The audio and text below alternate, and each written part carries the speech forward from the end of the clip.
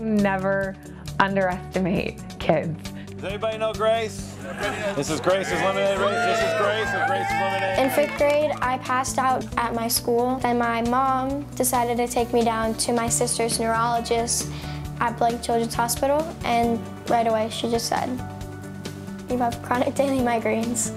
The reason I started raising money for Blank is because I experienced what it was like to be in the hospital, but the other kids had to stay. It kind of, it, it, I felt bad. Like it was hard for me.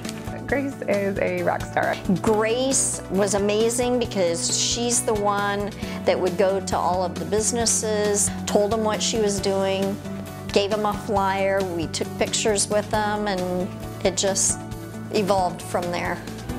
I've always said one of the best things about Grace is not only the difference she's made through fundraising, but also how much of an impact she has had by inspiring other kids. She's done amazing. I mean, Grace has done more in two years, and she's just 12 years old, than most people have done in their whole life. I'm proud of her because I'm just proud.